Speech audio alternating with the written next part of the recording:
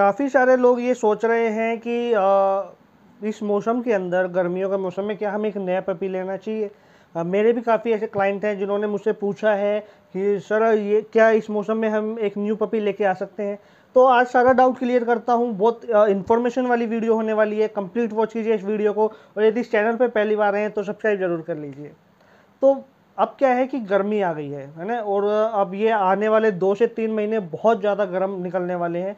इसमें temperature Rajasthan side में अगर आप देखें तो 50 प्लस चला जाता है। तो इतनी गर्मी में क्या एक न्यू पपी लेना हमारे लिए सही रहेगा या कोई रिक्स का काम तो नहीं है? तो इस चीज़ को समझने की ज़रूरत है। क्या होता है कि गर्मियों के टाइम में पार्वो इन्फेक्शन के चांस बहुत ज़्यादा होते हैं। ठीक है? तो बहुत ही ज़्यादा जैसे चांस बन जाते हैं जिसमें पपी को पार्वो हो सकता है। तो जहाँ से आप पपी लेने जा रहे हैं पहले चेक कर लेना उसके ब्रीडर के पास या आ, उसके एरिए के अंदर कहीं पार्बो वायरस तो नहीं फैला हुआ है डॉग के अंदर।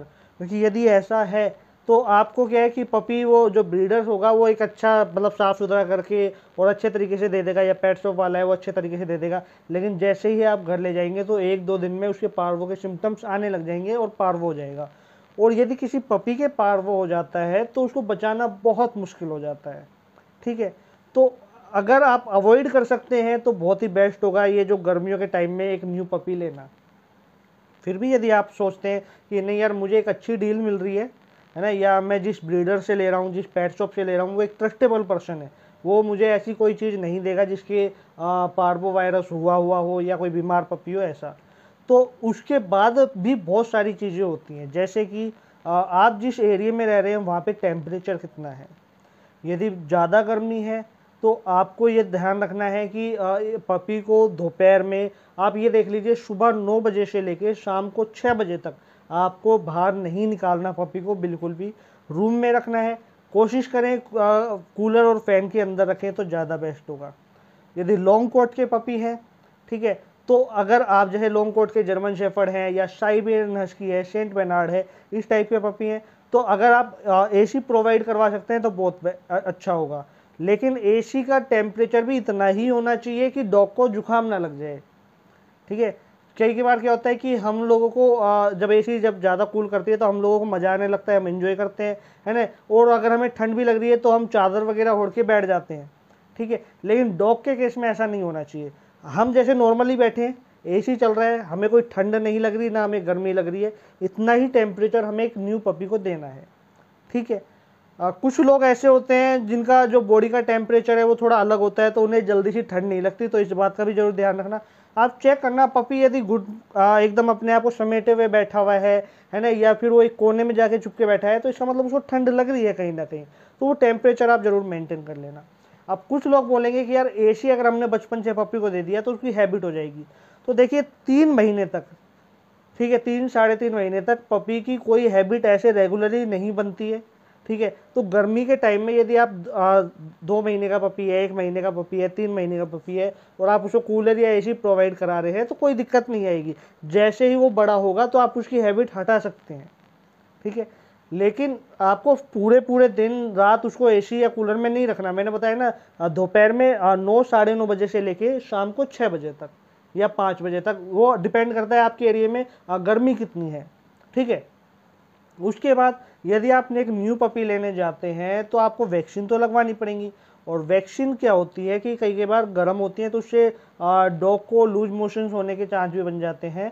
तो उस चीज़ का ज़रूर ध्यान रखना। यदि आप डॉग को वैक्सीन करवा रहे हैं तो या तो अर्ली मॉर्निंग में करवाइए, ठीक है? या फिर इवनिंग में करवाइए जब ठंडा मौसम हो जाए। और आप अपने वेट से अच्छे से कंसल्ट कीजिए। आपको जो वेट है वो आपको एक सही गाइड करेगा कि आपको किस तरीके से आपको डॉग को वैक्सीन करवानी है, किस तरीके से डॉग को रखना है। अब इस मौसम के अंदर, गर्मी के मौसम में हमें कौन कौन से पपी लेने चाहिए, इसके बारे में भी समझो। कोशिश ये करें कि हम शॉर्ट कोट के पपी लें तो ज़्यादा सही रहेगा। है ना? क्योंकि लॉन्ग कोट के पपी अगर ठंड में लें तो ही बेस्ट माना जाएगा। एक तो देखो, ठंड के अंदर जो पपी आते हैं, वो काफ़ी अच्छी क्वालिटी के आते हैं, है ना? काफ़ी हैवी बोन आते हैं, काफ़ी उनमें चेंज आता है। आप जब कंपेयर करेंगे ठंड के और गर्मी के पपी गर्मी में थोड़े वीक पपी आते हैं। पहला तो ये होता है। दूसरी बात है, गर्मी के अंदर जो पपी आते हैं, वो काफ़ी ज़्यादा परेशान होते हैं, ठीक है? और गर्मी के अंदर जो बड़े बालों वाले पपी हैं, उनसे गर्मी बर्दाश्त नहीं होती है। तो आप अवॉइड करें तो ज़्यादा बेस्ट होगा। फिर आती है एज की बात किस एज का पपी हमें लेना चाहिए। तो इतनी गर्मी के अंदर अगर आप 45 डे का भी पपी लेते हैं तो मेरे हिसाब से सही नहीं होगा। ठीक है? मैं आपको यही एडवाइज करूँगा कि अगर आप दो से ढाई महीने का पपी लें या तीन महीने का पपी लें तो ज़्यादा बेस्ट है। ठीक है? आप अपने ब्रीडर को बोल दो कि भैया आप इसकी सारी वैक्सीन करवा के रखिए। ठीक है? और हमें पूरा रिकॉर्ड चाहिए वैक्सीन का। और जितना एक्स्ट्रा पैसा होगा वो हम पे करने को तैयार हैं। लेकिन आप इसकी वैक्सीन कराइए, जैसे ये ढाई तीन महीने का होगा, हम इसको ले लेंगे। क्योंकि तो एक ब्रीडर को मालूम होता है कि किस पपी की कैसे केयर करनी है। हमारे लिए वो पपी न्यू है, हमें अभी एक्सपीरियंस नहीं है केयर करने का। और बहुत सारे ऐसे लोग हैं जो काफ़ी टाइम तक डॉग रख लेते हैं, फिर भी उन्हें नॉलेज नहीं होती कि डॉग को रखना कैसे है। ठीक है? एक चीज़ ये हो गई अब जब आप ढाई तीन महीने का पपी ले आते हैं तो आप उसमें काफ़ी चीज़ें ऐड कर सकते हैं खाने में, जिसके, उसके बॉडी के अंदर का जो टेम्परेचर है वो मेंटेन रहे। जैसे मैंने बताता हूँ एक, आज से 20-25 साल पहले काफ़ी लोग ये यूज़ में लेते थे अपने काऊ को या डॉग को खिलाते थे, एक गोंद कतीरा आता है, ठीक है, वो किसी भी किराने की दुकान पर मिल जाएगा, और उसकी फ़ोटो जो है वो भी आपको स्क्रीन के ऊपर आ रही होगी। तो गोंद कतीरा क्या होता है? आप उसको भिगो के रखिए और यदि आप एक लार्ज डॉग बेड रख रहे हैं तो आप उसको दो चम्मच दे दीजिए। यदि स्मॉल डॉग पीड है तो आप उसको हाफ़ या वन चम्मच दे सकते हैं। और गोंद कतीरा देने से पहले आप अपने डॉक्टर से, अपने वेटनेरियन से ज़रूर पूछ लेना कि इसको कितनी मात्रा में देना है। ठीक है, गोंद कतीरे से क्या होगा कि डॉग का जो बॉडी के अंदर का टेम्परेचर है, वो एकदम मेंटेन रहेगा। दही उसको ज़्यादा से ज़्यादा देना है, छाछ उसको ज़्यादा से ज़्यादा देनी है जितना हो सके लिक्विड खाना देना है, जैसे दही, छाछ ये, ठीक है, ठंडा देना है। और जो फ़ूड है, अगर आप उसको, उसकी मात्रा कम करके दही और छाछ की मात्रा बढ़ा दें तो ज़्यादा बेस्ट होगा गर्मियों के टाइम में। क्योंकि गर्मियों के टाइम में डॉग जितना ठंडा खाना खाएगा, जैसे दही, छाछ, है ना तो वो उतना ही अच्छे तरीके से रहेगा। क्योंकि फ़ूड क्या होता है कि कई बार जैसे हम हाई प्रोटीन वाले फ़ूड दे देते हैं हाई फैट वाले फ़ूड दे देते हैं तो वो डॉग को डाइजेस्ट नहीं हो पाता और डॉग के लूज मोशन या वोमिटी होने के चांस बन जाते हैं। तो आप अपने डॉग की केयर करें, अच्छे से करें, ठीक है? डॉग को ऐसी कोई भी डॉग के साथ हरकत ना करें कि जैसे कई कई बार देखा जाता है, लोग धूप के अंदर डॉग को ले जाते हैं पपी को, है ना? तो ये बिल्कुल नहीं करना। नौ बजे से शाम के छः बजे तक धूप में पपी को बिल्कुल नहीं ले जाना, ठीक है? और क्योंकि कई बार क्या होता है, हमें लगता है, यार ज़्यादा धूप नहीं है, या हम छाए में लेके बैठ जाएँगे। तो बाहर क्या होता है कि अभी गर्म हवा चल रही है। तो भले ही आप छाए में डॉग को लेके बैठे हो, लेकिन यदि गर्म हवा आपके डॉग पे लग जाती है तो डॉग बीमार हो जाता है।